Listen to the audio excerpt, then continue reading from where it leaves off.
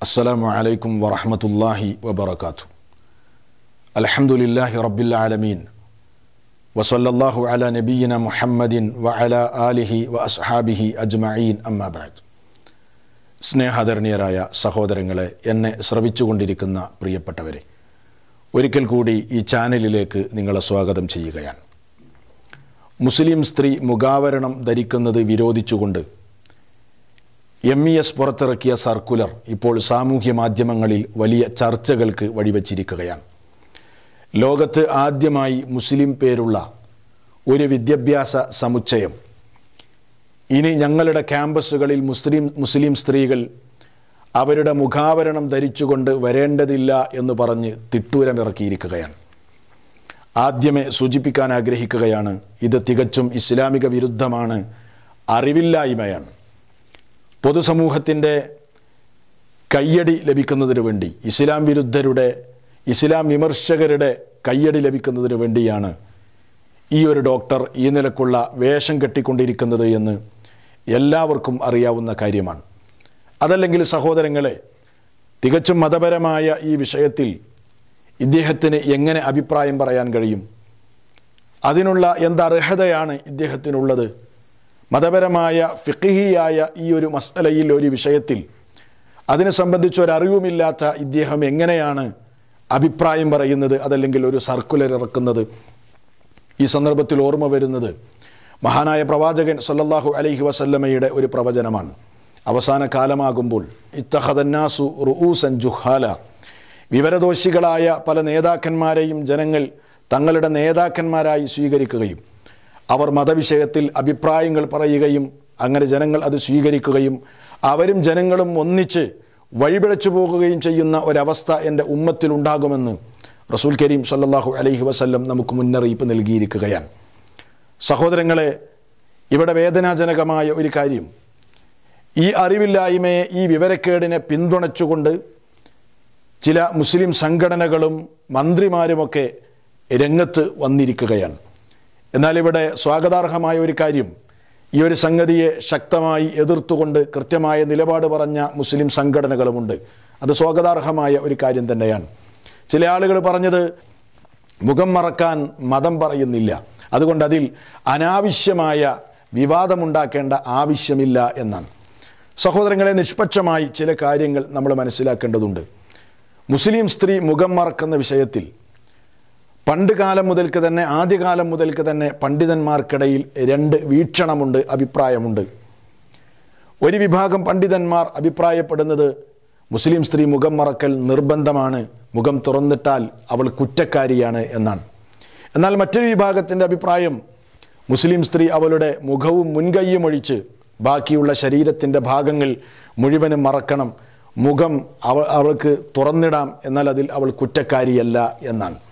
മുഖം മറക്കൽ നിർബന്ധമാണ് മറച്ചിട്ടില്ലെങ്കിൽ കുറ്റക്കാരിയാണ് എന്ന പക്ഷക്കാരനാണ് മഹാനായ ഷെയ്ഖ് ഇബിനുബാസ് ബാസ് റഹിമഹുല്ല. എന്നാൽ മുഖം മറക്കൽ നിർബന്ധമില്ല എന്ന അഭിപ്രായക്കാരനാണ് മഹാനായ ഷെയ്ഖ് നാസിറുദ്ദീൻ അൽബാനി റഹിമഹുല്ല. അദ്ദേഹം ഹദീസ് വിജ്ഞാനങ്ങളിൽ അഗ്രഗണ്യനാണ്. അപ്പോൾ ഈ രണ്ട് അഭിപ്രായങ്ങൾ മുസ്ലിം ലോകത്ത് അഹ്ലുസുന്നയുടെ പണ്ഡിതന്മാർക്കിടയിൽ നിലനിൽക്കുന്നുണ്ട് എന്ന് നമ്മൾ മനസ്സിലാക്കണം. മുഖം മറക്കൽ നിർബന്ധമില്ല എന്ന് അഭിപ്രായപ്പെട്ട പണ്ഡിതന്മാർ പോലും മുഖം മറക്കൽ ഉത്തമമാണ് എന്ന് പറഞ്ഞവരാണ് പലരും. നമ്മൾ പ്രത്യേകം മനസ്സിലാക്കേണ്ട കാര്യമാണത്. അപ്പോൾ ഈ വിഷയത്തിൽ നിർബന്ധമാണോ അല്ലയോ എന്ന വിഷയത്തിൽ മാത്രമാണ് പണ്ഡിതന്മാർക്കിടയിൽ അഭിപ്രായ ഭിന്നതയുള്ളത്. എന്നാൽ നിങ്ങൾ മനസ്സിലാക്കേണ്ട ഒരു കാര്യം. മുഖം മറക്കാൻ പാടില്ല എന്ന് പ്രാമാണികമായ ഒരു പണ്ഡിതനും ലോകത്ത് ഇന്നേ വരെ പറഞ്ഞിട്ടില്ല എന്നതും നമ്മൾ പ്രത്യേകം ശ്രദ്ധിക്കേണ്ടതുണ്ട്. എന്നിട്ടാണ് പല ആളുകളും മുഖം മറക്കാൻ മതം പറയുന്നില്ല. അതുകൊണ്ട് ഇത് അനാവശ്യമായ ചർച്ചയാക്കേണ്ടതില്ല വിവാദമാക്കേണ്ടതില്ല എന്ന് പറഞ്ഞ് രംഗത്ത് വരുന്നു. ആ നിലക്കുള്ള അഭിപ്രായങ്ങൾ പറയുന്നു. എന്തടിസ്ഥാനത്തിലാണ് ഇത് പറയുന്നത് എന്ന് നമുക്ക് മനസ്സിലാകുന്നില്ല. ഏതാണെങ്കിലും അത് വളരെ വേദനാജനകമായ ഒരു നിലപാടായിപ്പോയി എന്ന് ഈ സന്ദർഭത്തിൽ ഓർമ്മപ്പെടുത്താൻ ആഗ്രഹിക്കുകയാണ്. സഹോദരങ്ങളെ ഒരു മുസ്ലിം സ്ത്രീ വിശുദ്ധ ഖുർആാനിന്റെയും പ്രവാചകന്റെ വചനങ്ങളുടെയും അടിസ്ഥാനത്തിൽ അവർ മനസ്സിലാക്കിയത് എന്റെ മുഖം മറക്കലാണ് എന്റെ വിശുദ്ധിക്ക് നല്ലത് എന്റെ ജീവിതത്തിന്റെ പരിശുദ്ധിയുടെ പരിപൂർണത അതിലൂടെയാണ് ഞാൻ കാണുന്നത് എന്ന് മനസ്സിലാക്കി അവൾ അവരുടെ മുഖം മറക്കുകയാണെങ്കിൽ അത് പാടില്ലെന്ന് പറയാനോ? അവളെ അധിക്ഷേപിക്കുവാനോ? ഇനി നാളെ മുതൽ ഞങ്ങളുടെ ക്യാമ്പസുകളിലേക്ക് നീ വരേണ്ടതില്ലെന്ന് പറയുവാനോ? ഇവിടെ ആർക്കെങ്കിലും അവകാശമുണ്ടോ സഹോദരങ്ങളെ? ഒരാൾക്കും അവകാശമില്ല.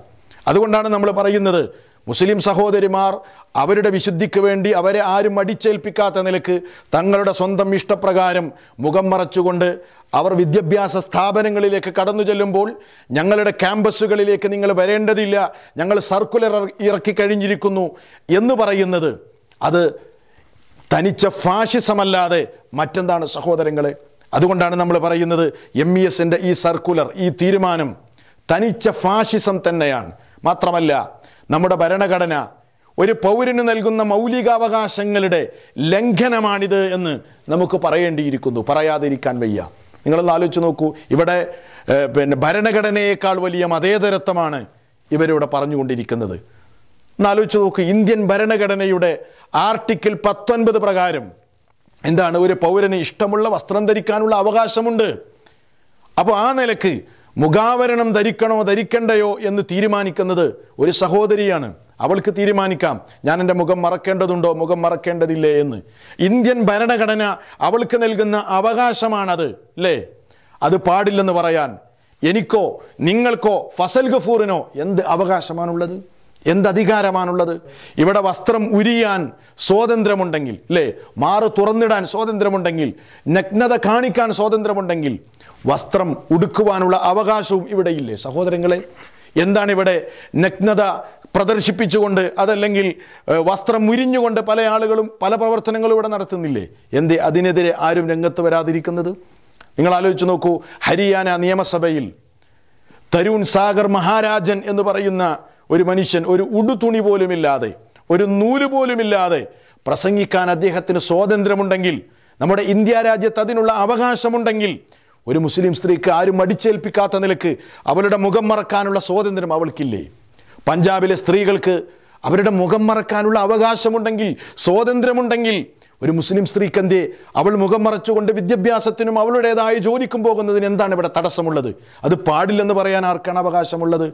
അവിടെയൊന്നും കാണാത്ത ആവലാദികളും വേവലാദികളും എന്താണ്?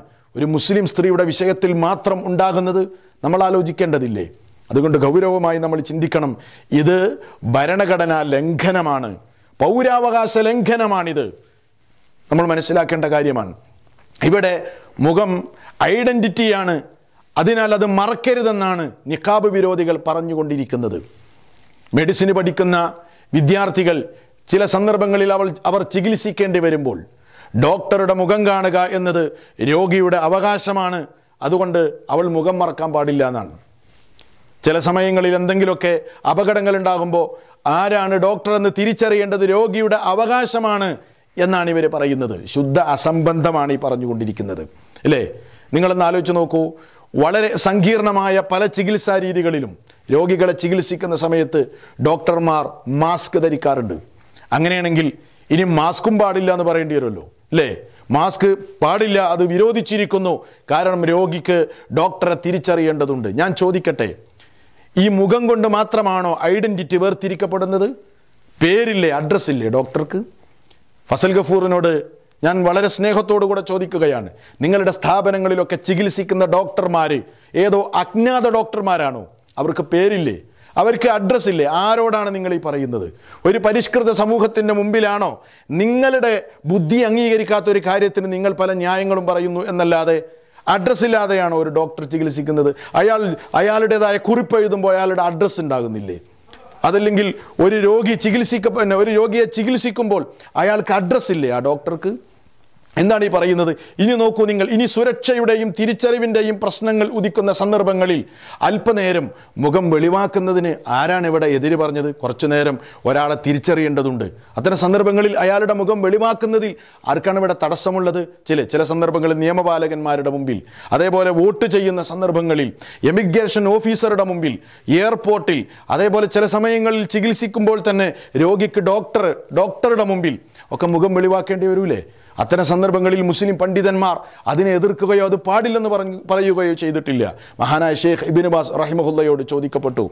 ഒരു സഹോദരി ചോദിച്ചു എനിക്ക് ഡോക്ടറെ അടുത്ത് പോകുമ്പോൾ പ്രത്യേകിച്ച് എന്റെ പല്ലുമായി ബന്ധപ്പെട്ട ചികിത്സയ്ക്ക് വേണ്ടി ഞാൻ പോകുമ്പോൾ നിർബന്ധിത സാഹചര്യത്താൽ ഞാൻ മുഖം വെളിവാക്കാറുണ്ട്.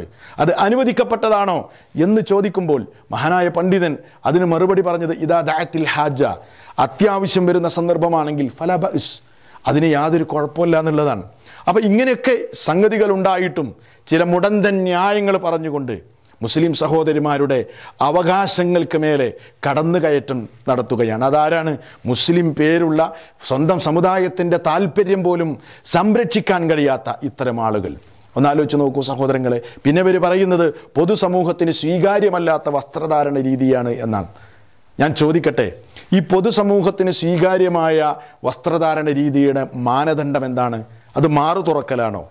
ശരീരത്തിന്റെ നഗ്നത വെളിവാക്കലാണോ? അതെന്താണ് എന്ന് നിങ്ങൾ വ്യക്തമാക്കിയിട്ടില്ലല്ലോ?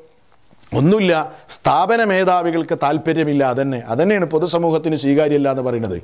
ഞാൻ പറയട്ടെ സ്ഥാപന മേധാവികൾക്ക് താല്പര്യമില്ലെങ്കിൽ അവരത് നടപ്പാക്കേണ്ടത് അവരുടെ വീടുകളിലാണ്. ഒരു പൊതുസ്ഥാപനത്തിലല്ല എന്ന്.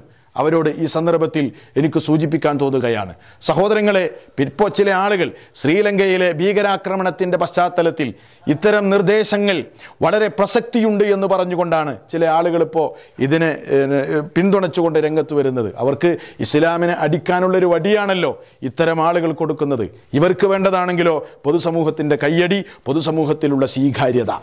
അവർക്ക് മതം ഒരു പ്രശ്നമുള്ള കാര്യമല്ല. ഞാൻ ചോദിക്കട്ടെ ശ്രീലങ്കയിൽ സ്ഫോടനം നടത്തിയതായി സംശയിക്കുന്ന രണ്ടുപേരും മുഖം തുറന്നിട്ട പുരുഷന്മാരായിരുന്നു എന്ന കാര്യം ഈ പിന്താങ്ങാൻ വേണ്ടി രംഗത്ത് വന്ന യുക്തിവാദികളടക്കമുള്ള ആളുകൾ സൗകര്യപൂർവം മറന്നുപോകുന്നു എന്നതാണ് ഇവിടെ ദുഃഖകരമായ ഒരു സത്യം. നിങ്ങൾ ആലോചിച്ച് നോക്കൂ ലോകത്ത് ഞാൻ മനസ്സിലാക്കിയിടത്തോളം മുസ്ലിം പേരുള്ള ഏതെങ്കിലും ഒരു ചാവേറ് പൊട്ടിത്തെറിക്കാൻ വേണ്ടി മുഖം മറച്ചുകൊണ്ട് വന്നതായി ഞാൻ ഇതുവരെ ലോകത്ത് കണ്ടിട്ടില്ല. അതല്ലെങ്കിൽ ഇതുവരെ ലോകത്ത് അങ്ങനെ സംഭവിച്ചതായി ഞാൻ മനസ്സിലാക്കിയിട്ടില്ല. അപ്പോൾ വെറും മുടന്തൻ ന്യായങ്ങളാണ് ഈ വിഷയത്തിൽ പറഞ്ഞുകൊണ്ടിരിക്കുന്നത്. വേറെ ചില ആളുകൾ പറയാൻ മുഖൊക്കെ മറക്കുക എന്നുള്ളത് അത് വെറും അപരിഷ്കൃതമായ വസ്ത്രധാരണ രീതിയാണ് എന്ന്. ഞാൻ ചോദിക്കട്ടെ ലോകത്ത് പരിഷ്കൃതരായ പല രാജ്യങ്ങളുമുണ്ട് അല്ലേ അമേരിക്കയിലും ഇംഗ്ലണ്ടിലും അങ്ങനെ യൂറോപ്യൻ രാജ്യങ്ങൾ അവിടെയുള്ള മുസ്ലിം സ്ത്രീകൾ അവർ മുഖം മറക്കുന്നുണ്ട്. നാടും നഗരവും ശാസ്ത്രവും ഒക്കെ വികാസം പ്രാപിച്ചിട്ടും അവർ മുഖം മറച്ചുകൊണ്ട് അവർ സമാധാനമടയുന്നു. എന്തേ? അവരൊക്കെ അപരിഷ്കൃതരാണോ? എന്ത് ന്യായമാണ് ഈ പറയുന്നത്? എന്താണ് സഹോദരങ്ങളെ പറയുന്നത്? അപ്പോൾ തികച്ചും ന്യായമല്ലാത്ത ഇന്ത്യൻ ഭരണഘടന ഒരു പൗരന് നൽകുന്ന മൗലികാവകാശത്തിന് ലംഘനം നടത്തിക്കൊണ്ടാണ് ഈ നിലക്കുള്ള സർക്കുലർ ഇറക്കിയിട്ടുള്ളത്. അതുകൊണ്ട് നമുക്കിതിനെ സംബന്ധിച്ച് പറയാനുള്ളത് ഇത് നവോത്ഥാനമല്ല ഇത് ധിക്കാരമാണ്. ഇത് തികഞ്ഞ ധിക്കാരമാണ്. ഇത് ഫാഷിസമാണ്. സാംസ്കാരിക ഫാഷിസമാണ്. അതുകൊണ്ട് തന്നെ മുസ്ലിം സമൂഹം ഇതിനെതിരെ പ്രതികരിക്കേണ്ടതുണ്ട് രംഗത്ത് വരേണ്ടതുണ്ട് എന്ന് മാത്രമാണ് ഇതിനെ സംബന്ധിച്ച് ഓർമ്മപ്പെടുത്തുവാനുള്ളത്. അള്ളാഹു സുബാനഹുവ ചായാല കാത്തുരക്ഷിക്കുമാറാകട്ടെ. വസ്സലാമലൈക്കും വറഹമത്തല്ലാഹി വബർക്കാത്തു